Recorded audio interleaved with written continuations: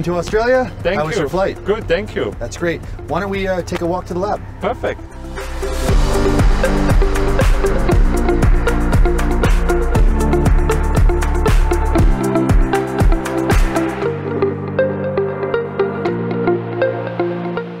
Claude, welcome to the Sydney Nanoscience Hub. This is a research facility that we built at the University of Sydney, really focused on quantum physics research. It's fantastic to have you here. Thank you for having me.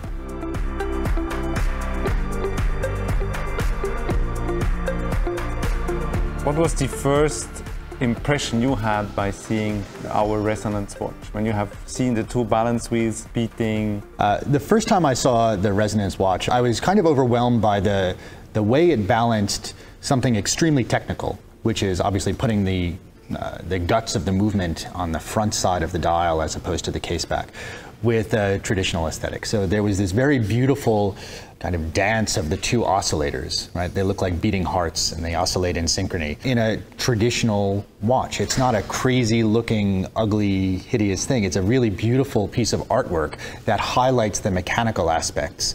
And I think it was a, a great way to, to show both watchmaking virtuosity and also the fact that it seems like you value uh, technical prowess as much as you value artistic prowess.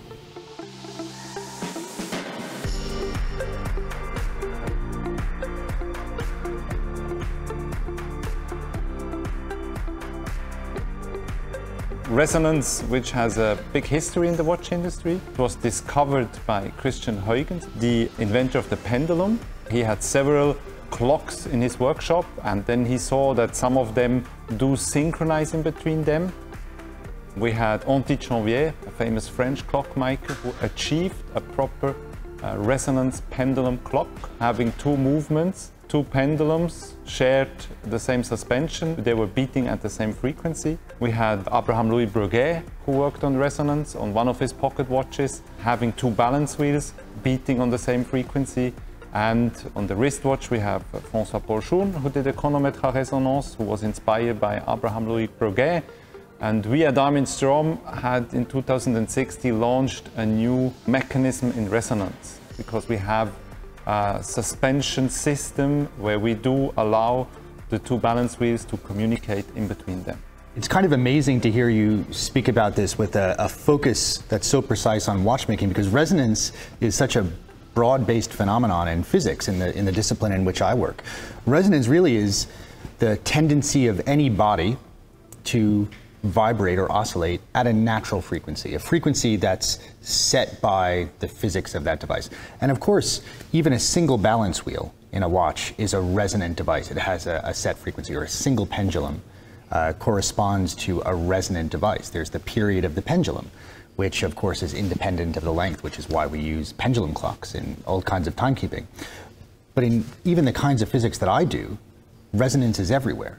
And I think it's actually more familiar to people than they might expect because if you've ever been to the gym or if you've ever played with a jump rope, you know that only if you shake the rope at exactly the right rate, at exactly the right frequency, do you get the big waves, the big undulations that build up. That's a resonant phenomenon. It's the same in musical instruments. You see that only certain allowed frequencies will build up and you'll get a musical note coming out.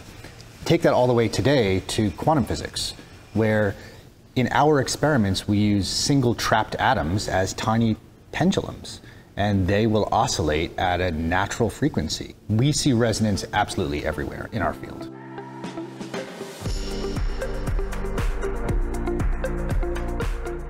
The approach what we had in resonance and what we have figured out is that somehow we have to make the two balance wheels communicate in between them. I was actually inspired by the pendulum clock, what Antide Janvier did. Antide said, by sharing the suspension of the two pendulum, I achieved resonance. Resonance in our case means that we have the two pendulums beating exactly in the same frequency, helping each other. A benefit which we have brought to the wristwatch by having a suspension system, like we had it assert frequency to the whole balance wheels to get them beat in resonance. In our field, in physics, you see that resonance in the way that Armin Strom has used it is actually one of the first problems that we study in first year physics. Because what we know is that when we have springs that oscillate, that vibrate, coupled together, that those springs share modes of motion. You can imagine this like marbles in a bowl. They can slosh back and forth together or they can slosh and bounce off one another inside the bowl. It's the same exact idea with resonant oscillators.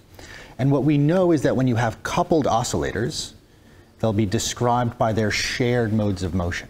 And so what Armin Strom did, of course, is add this third spring, the, the clutch spring, which kind of pulls together the frequencies, the beat rates of the other two oscillators such that it's the shared mode of motion, the collective motion of these three coupled oscillators that sets the beat rate for the watch. It's a pretty amazing thing to see this piece of high horology link back to uh, the fundamental physics that we employ all the time.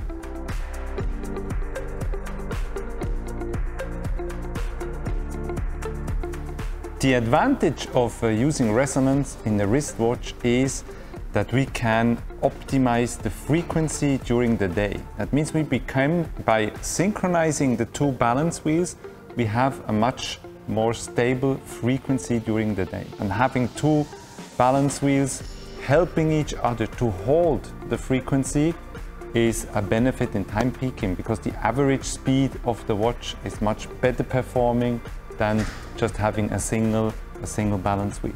So this, this idea is actually very similar to things that carry over into the most advanced research that we do in quantum technology today. What we see is that it always helps us to kind of spread out a physical system such that local shocks, like the idea of somebody smacking the, the wristwatch, are not as impactful on, say, the rate accuracy. For us, this involves spreading out information. So we actually store information in things that obey the rules of quantum mechanics, like individual atoms. Those individual atoms can be quite susceptible to perturbation from the environment. But if we spread the information out over many of them, we find that we can gain robustness. It's very much like the resonant phenomena you're talking about right now for watches. We take that concept and we apply it in some of the most advanced technology under development today. The future of resonance, this benefit is just for me as a watchmaker is huge because we are having so many complications today, struggling with energy, with disturbing the movement. So, you know, having, let's say, a chronograph being engaged to the movement, having maybe another movement, helping to hold the frequency. There's a lot of benefit what we can take out of resonance. And I think the future of resonance is just huge in, in, in watchmaking. What about how does resonance affect your future? Quantum physics is, it's just the science of very small things. It's the rules of nature that determine how things behave when we're talking about individual particles of matter like atoms or individual particles of light called photons. The rules that we find there are just different. For a long time, we thought it was nothing more than really strange math. But then in the 1980s, we discovered that this is real. We can access it in the laboratory. And since then, we've been working to build technology using this kind of science. This is what I do, this is what my company focuses on, it's what my academic lab focuses on, building new kinds of technology that use this physics as a resource. It always amazes me that the ongoing advancements in high horology carry over to things that in parallel we're developing in quantum technology. That for us, the idea of resonance as a control concept, as a, as a concept that can improve the stability of a device, is actually applied in exactly the technology that we're building. We use resonance in the individual atoms that we're accessing. We use resonant-like phenomena as we make our atoms insensitive to the environments around them. That's the nature of the work we do at our company. We're building technology that's immune to the environment just like you can make a watch movement that's largely immune to these variations that you see in power delivery or the motion of, of the watch.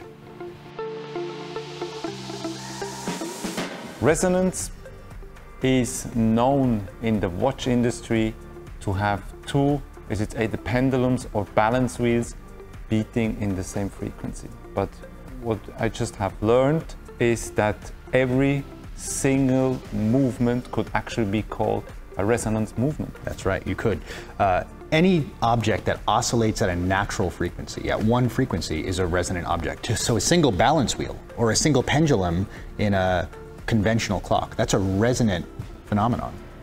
Now, what's different about the Armin Strom approach to resonance is that you're not just taking two, two oscillators, two things that vibrate back and forth, and synchronizing them, right? You're actually coupling them to a third spring.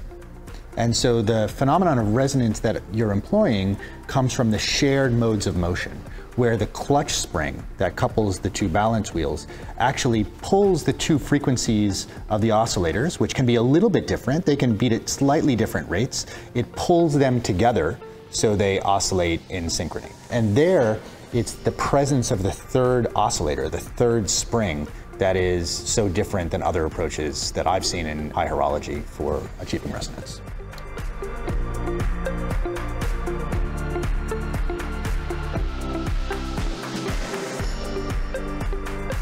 So thank you for having me. Thank you for sharing your experience in resonance with me. Great. Thank you so much for coming, Claude. It's been a real pleasure having you here.